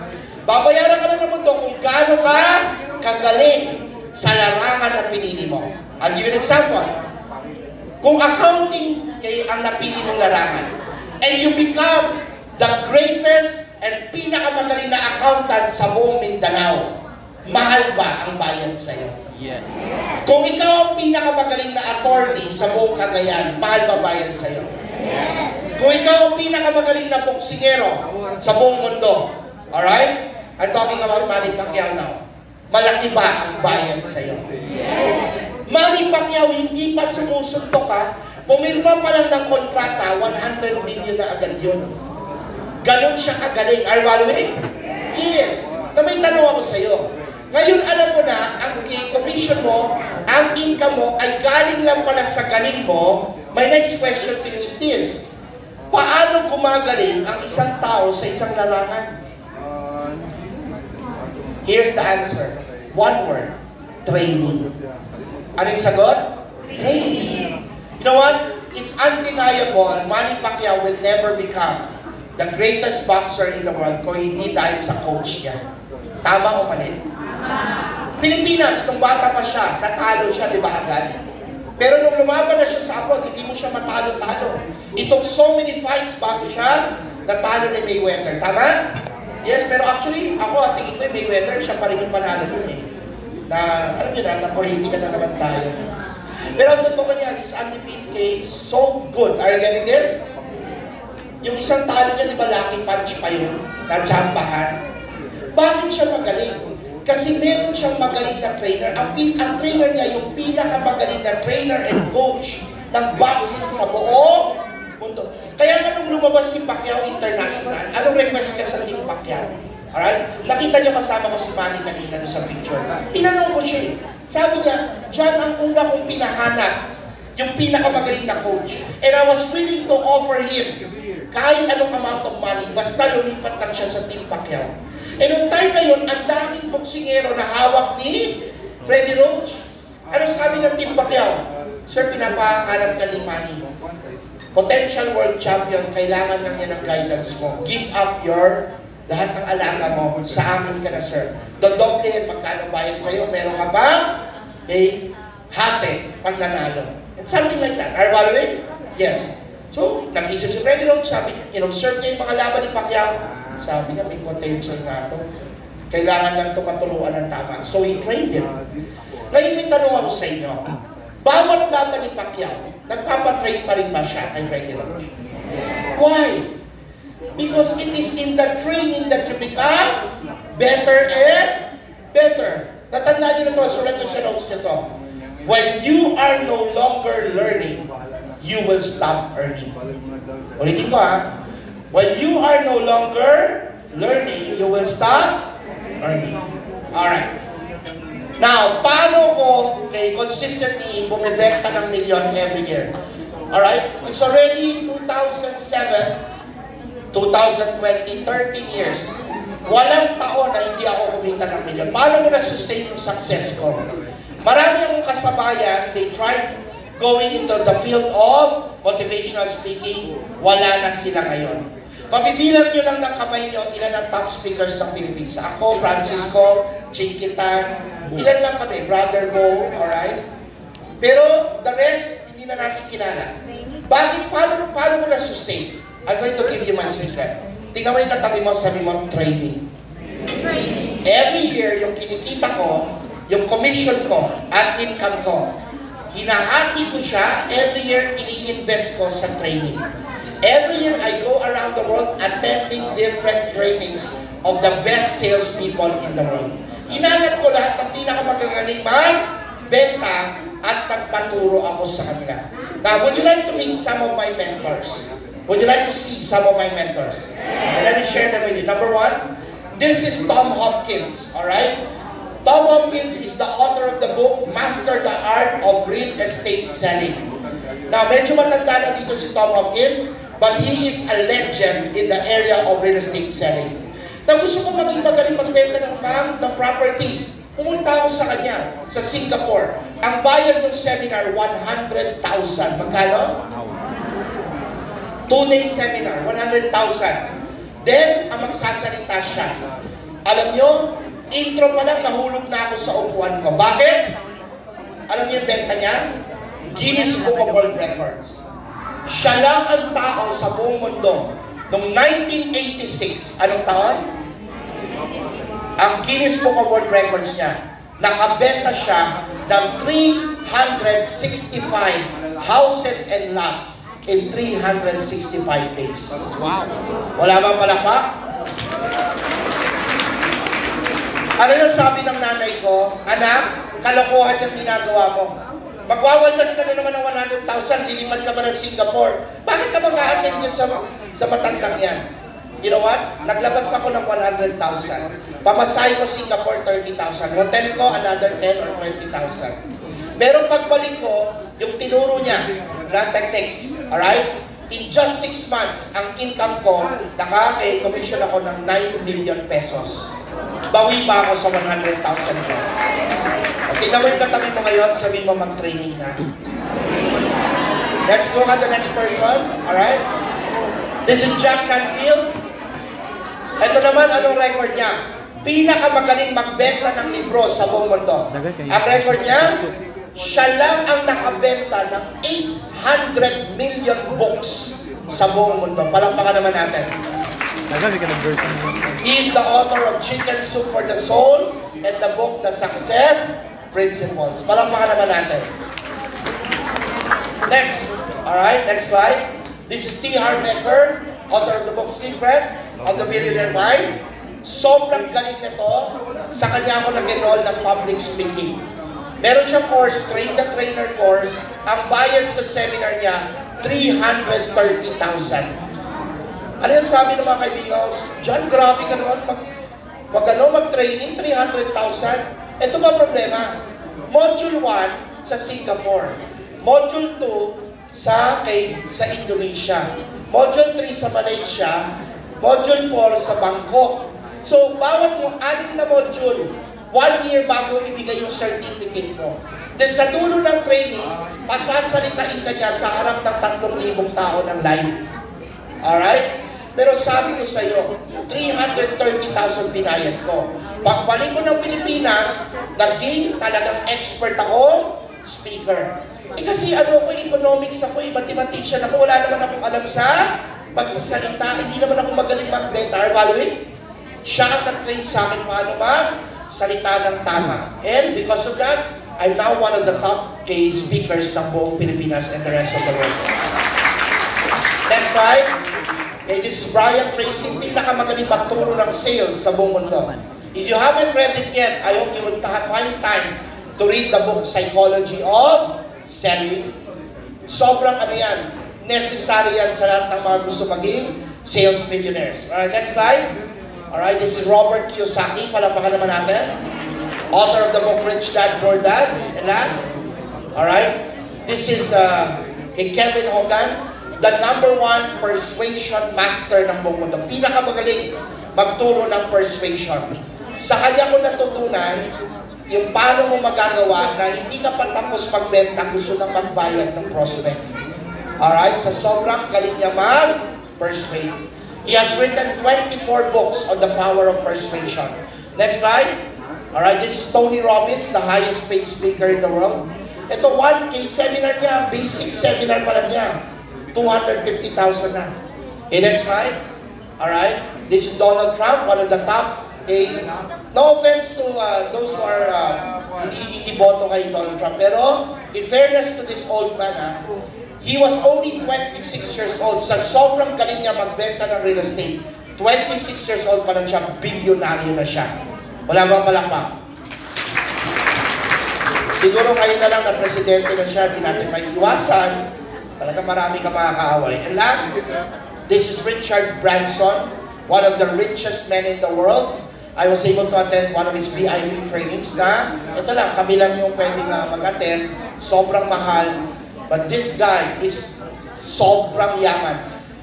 Ang ginagawa niya ngayon, alright, he owns the Virgin Group of companies. Virgin, Gal- Virgin Atlantic, Virgin Records, Virgin Airline, Virgin Cola, which is in Europe. You know what he's doing right now? Nung in-interview mo siya? Ang next project niya sa sobrang yaman niya, he is creating the first airline that will bring people to outer space. Okay? A 30 minutes tour ng outer space. Alright? $200,000 per ticket. Grabe, no? Yun. Anyway, alright? Ito yung mga nagturo sa akin. Kaya tatanungin niyo ako, pag meron ako hindi nabentahan, hindi ako na-frustrate kasi matibay yung damdamin ko because I am trained by the masters. Are you following? So, tinan mo yung katabi mo, sabi mo, partner, if you want to become the best, train with the best. Everybody give a high five to your partner, sabi mo, we have a multi-millionaire mind. Alright. Now, let me uh, partly end with this. Meron isang company pumunta sa akin. Alright? Ito yung sabi sa akin ng company.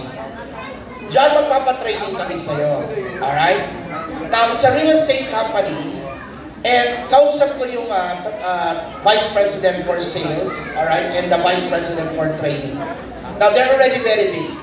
You know what they told me? Sabi na, John, kaya nga namin kinausap kasi lahat ng mga top sellers namin, tinanong namin bakit ang lalakas nila magbenta. Eh, lagi nila sinasabi yung pangalan mo. Na, dati daw, doon sila sa isang company, nag-attend sila sa training mo. Then, nung lumipat sila dito, dala nila yung galing na napasa mo sa kanila. So, na-intriga kami. Alright? And gusto rin namin magpa-training. You know what, tinanong nila ako, magkano? Sabi ko, sir, depende sa dami ng ipapadala nyo, eh, attendees. So, binigyan ko sila ng range. Sabi ko, pag 20 lang, alright, sabi ko, mag-charge ako ng ganito kamahal. Pag umabot po ng 100 ganito, pag 500 yung ipadadala nyo, ganito po yung rate ko. Pag 1,000 and above, ganito. So sabi nila, 2,000 yung agent namin, Mr. Calo. Alright? So ibig sabihin natin na kami sa pinaka-discounted mo. Pero seryoso ka ba? Bawat tao, babayaran namin ng 3,500? Ganong kamahal? Magsasalita ka lang ng isang araw? Sabi ko, oo, sir. Bakit? Sabi ko, sir, alright, ganito yung paliwanag ko sa kanya. Sir, alam niyo ba't niyo ako pinatawag? Sabi niyo kanina, last year, ang benta niyo 1 billion. Ngayon, ang gusto niyo, 5 billion. Ang hindi biro yung goal niyo kayong taon. Tama o mali? Oh. Sabi ko, kaya 1 billion lang ang benta niyo, isa lang ang reason yan. Kasi yung galing ng mga agents mo, pang 1 billion lang. Are you following? So kung may improve natin sila, pag training natin sila, lalo silang tatalas, lalo silang ma-inspire, lalo silang gagaling sa pagbebenta, mas malaki yung chance nyo na umabot kayo na 5 billion.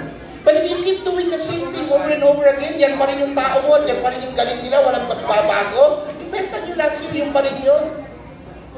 Tapos sabi ko, sir, 3,500, 2,000 people, 6 million lang ibabayad o 7 million lang ibabayad nyo sa akin. Pero pagtapos ko mag-training, billion ang babalik sa inyo. Di ba lugi ako? Sabi ko, sir, wala naman akong override, di ba? Tinginan sila eh. Sabi na, oo nga? Alright? Sabi ko, sir, gawin na natin ngayong start of the year yung training. Sabi ko, bakit? Kasi pag bago matapos yung taon, tatawagan niyo ulit ako. Pag malapit na matapos yung taon at hindi nyo pa nare-reach, sasabihin nyo, ituloy na natin. Eh, too late na. Are you following? Matatapos na yung taon, wala na tayong oras magbenta. Eh, gusto simulan natin ngayon, at awin na natin, bago pa mag-Christmas, di ba, six months pa lang, tapos na kayo sa kota nyo. At sabi ko, hindi lang naman ako makakatulong sa inyo. Dapat din, eh, galingan nyo rin yung inventory nyo. At yung lahat, lahat ng factors na kami. Pero sabi ko, ang weakness nyo, yung tao nyo, hindi regularly nagte-training. Are you getting this? The secret of sales, you have to keep on learning. You have to keep on growing. Kailangan inatasahan mo yung sarili mo dahil tuwing lumalabas ka doon, para kang lapis na napuputput. Tingnan nyo, ngayon, uuwi kayo. Okay, may tanong ako sa inyo. Dahil nakinig kayo sa training na to, uuwi ba kayo ngayon na sobrang inspired kayo? Yes! Uuwi ba kayo na bukas, ready ka na magtanong, magtanong, magtanong? Yes! Hindi ka na makakabahan bukas. Yes! Eh dito mo yan nakuha. Nagbabago ang buhay mo tuwing uma-attend ka ng training. So tingnan mo yung katabi mo ngayon. Sabi mo, gasusan mo yung utak mo. Alright, everybody give a high five to your partner. Sabi mo, we have a multi. Give a five. Alright. So, dito na ako magtatapos. Alright, let me just uh, take the last two minutes. Okay lang mag magpa-plug lang ako, if I may. Alright, see next slide. Alright, meron kaming product na na-develop. Actually, hindi ko ito na-invento. Na-invento ito ng isang scientist sa Amerika. Alright, her name is Dr. Winifred Cutter. She's a biologist.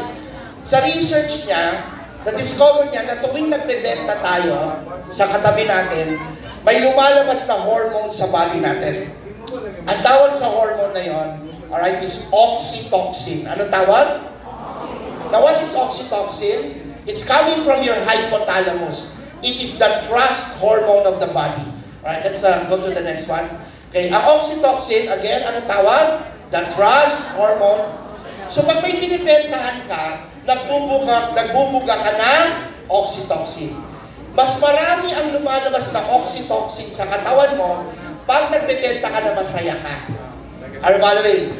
Pag madamdamin ka, malungkot ka, hindi siya bumubuga.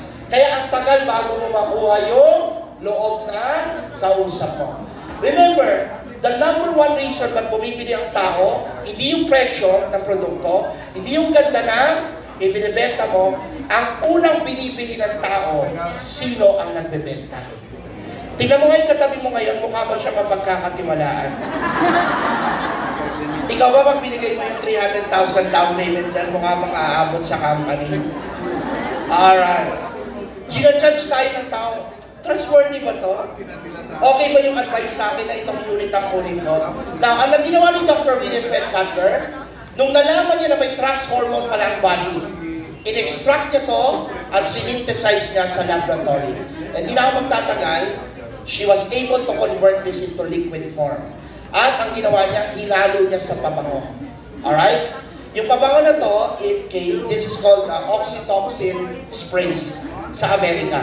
It is the first perfume na pag spray mo at naamoy ng prospect mo, two seconds pa lang, may tiwala na siya sa'yo. Wow! Sino gusto nun? Taas ang kamay. Mahal ka na, mahal. Alright. Exciting ba? Okay, let's go to the next slide. Uh, next slide. Sige, next slide. Skip na natin yung next slide. Alright. Now, ito yung ginagawa ng oxytocin scientifically. Yung harap ng utak natin is the amygdala. Sabi nyo ang amygdala? Alright, yung hypothalamus nasa bandang gitna at sa ilalim. Now, by the way, uh, just so that you know, I'm a brain power expert. Yung amygdala, when you're talking to a person, dito nakatira yung doubt and fear. Sabi nyo, doubt and fear. So pag nagbebenta tayo, itong part ng brain ng kausap mo, ito yung nagsasabi ng, Uy, totoo ba yan? Matatapos ba yung project na yan? Talaga bang magmamahal yan after 5 years ng sinabi mo? Siya yung nag-take, nagdidictate kung magtitiwala siya or hindi. Why? Because in the amygdala, dito nakatira yung doubt and fear. Sabi niya, doubt and fear. Dalawa lang ang kalaban natin pag nagbebenta tayo. Kaya hindi sila bumibili dahil meron sila Doubt. doubt and fear. So ito yung ginagawa ng pabango. Pag in-spray mo na yung pabango at naamoy ng katabi mo, alright, pagpasok sa ilong niya, i-disable niya yung amygdala ng pinipresentan mo. So during the presentation, hindi niya ma-access yung doubt and fear, bubukas yung listening mode niya. Kasi ang problem, pag walang tiwala sa iyo, kahit anong benta mo, satsat ka ng satsat sa tripping, hindi naman ina-absorb no kausap mo dahil wala siyang tiwala. Na, nanonood sa tripping, pero sa doon sa isip hindi naman ako talaga bibili, hindi ako bibili. Ano ba, Louie? Pero pag naamoy niya yung pabango natin, bubukas yung subconscious mind. Lahat ng cake, amenities na pinapaliwanag mo, yung benefits na product mo, lahat pumapasok sa subconscious mind. And dahil wala siyang doubt and fear, ina-accept niya, madali mo siyang mapa-oo. Wala ba palakpak? Now, the reason why I'm sharing this to you, kasi hindi pa lang kailan ako makakabalik ng CDO, but okay, last year, uh, two years ago, we were awarded the franchise for the Asia Pacific region of this perfume. Alright? And uh, I actually brought some, just a couple, maybe 20, 10 or 20 bottles. Okay, you can, can get this from us. Alright? Anyway, I'll just talk to your, your heads kung paano gagawin. Are you following? Alright. I'll give you an example. One of my students, eh, pumunta sa office ko.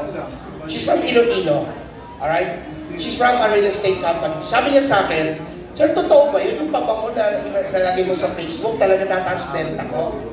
You know what? Sabi ko, huwag mo akong pagkatiwalaan. Dahil kahit naka-spray ako ng pabango, bumili ka, gamitin mo. Then sabihin mo sa akin kung totoo. You know what? Ginamit niya. Eh, number 6 siya ng company. Pakilan siya? Number 6. Okay? After in-spray niya, 3 months after tumawag siya sa akin. So hindi ka maniniwala. Alright? 3 months, ang benta ko sobrang laki. Then yung mga kausap ko, ang gaan na loob agad. Sir, commission ko 3 months, 10 billion pesos. Wala bang palakpak?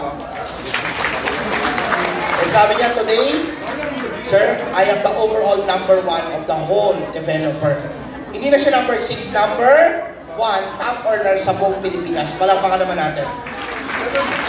And last year, she went back to my office, bumili siya ng 50 bottles. Gano'ng karami? Sabi ko, ba't dami mong in-order?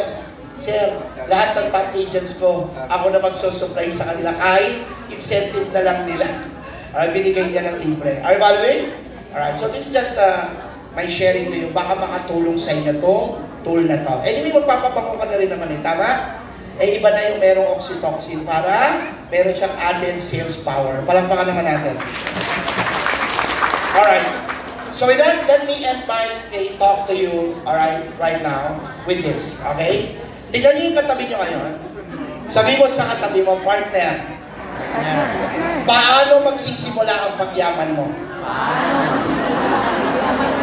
Alright, so everybody tayo tayo lahat, tayo tayo lahat. Okay. Kasi bago natin gawin tong last exercise, uh, can we go to the next slide? Alright. Okay, I'm sorry I cannot stay with you for so long. Uh, this only, I was given only uh, an hour and a half. I think medyo nag-isip na ako, pasensya naman. Alright, I hope you uh, you enjoy.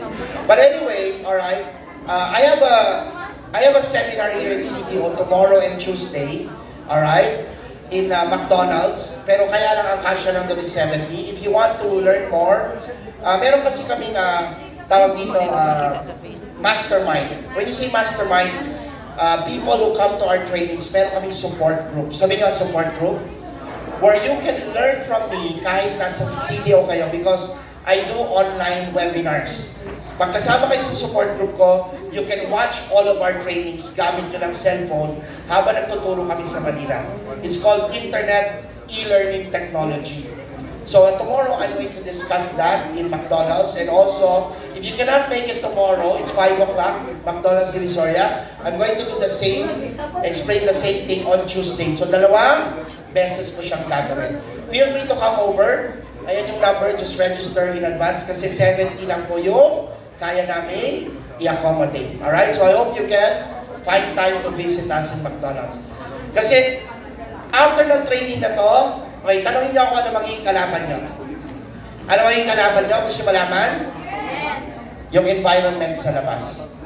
Kailangan niyo ng coach. Everybody say, kailangan ko ng coach. You need continuous training. One training is not enough. Alright? And if uh, the developer, our loving uh, developers here, are willing, I can also come back and do uh, advanced trainings only exclusively for your groups, alright? In the near future. Kung iimbitahin ulit ako nila ma'am. Pero maraming salamat sa pag-imbita sa akin. Alright? So with that, okay, let me uh, end this training with this exercise, alright? In this last, okay, one minute, may isa tayong gagawin. Gusto niyo maman? Alright.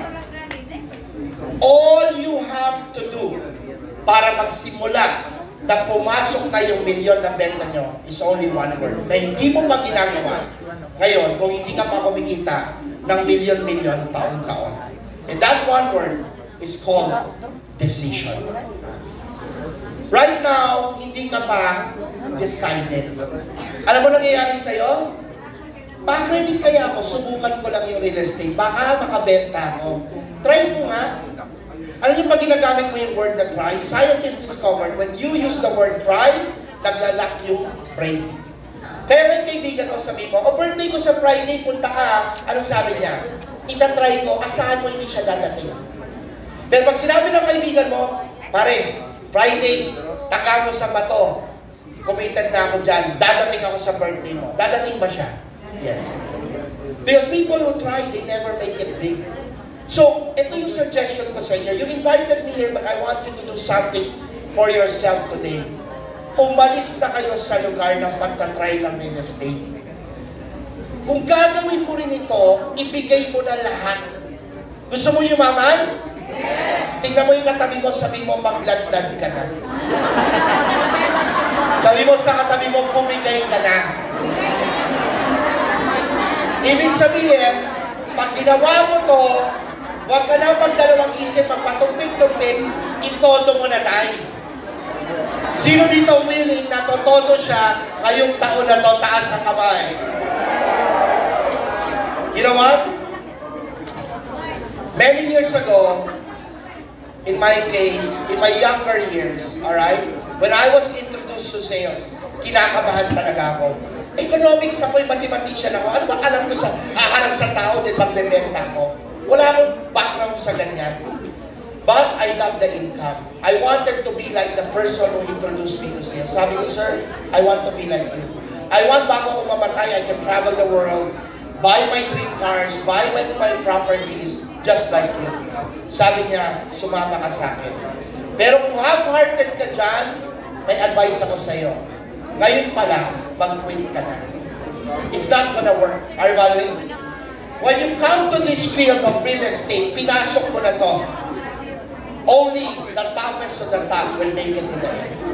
Kailangan buo ang loob mo. Babahayin tayo in the next few days. Lulusong tayo sa baha habang nagbebenta tayo. Mabibilag tayo sa araw. Tatawanan tayo ng maraming tao pag wala pa tayong nakikitang resulta nila. Tama? Lahat ng kay posibleng umarang sa'yo, dadating sa'yo. But once you make your commitment today, ano sabi mo? Alright? Lilipat ka na ng radio station. Ang radio station na D-W-I-T na. You will do whatever it takes to succeed. Palakpakan naman natin. So, ang tanong ko sa inyo, interesado ka ba maging milyonaryo? O committed ka ba na hindi ka titigil na magbenta hanggang hindi ka maging milyonaryo? So, tingnan mo yung katabi mo, tingnan mo yung katabi mo. Sabi mo, partner, bumigay ka na. Wow. Tanggalin mo na yung mga distractions na hindi makakatulong sa'yo. Bawasan mo na yung panonood mo ng TV na hindi naman dumadagdag sa benta mo. Paano kayo yaman? Araw-araw nanonood ka ng Korean telenovela. Madaling araw na kaya puyat ka, bukas wala kang tweeting. Focus this year. Diba? Gawin mo yung bucket list mo, put it in your heart, go to church, and sabi mo, Lord, eto yung cake, pinili ko sa'yo. And if you commit starting today, the doors of heaven will open. And when the doors of heaven open, all of the resources that you need, lahat ng referral na kailangan mo, lahat ng tao na makakatulong sa'yo, bigla na sila magpapakita sa'yo. Dahil committed ka na.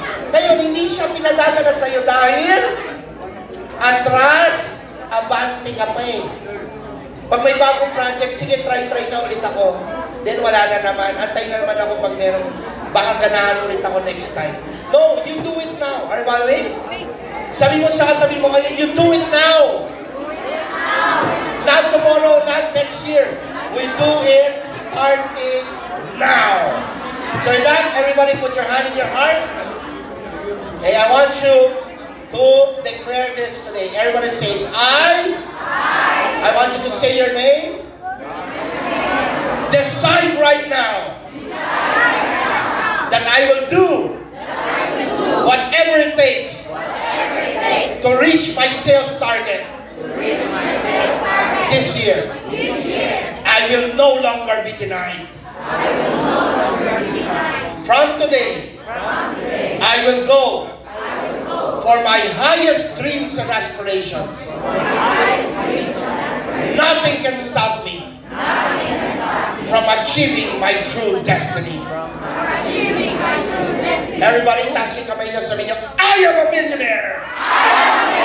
I am abundant! I am prosperous!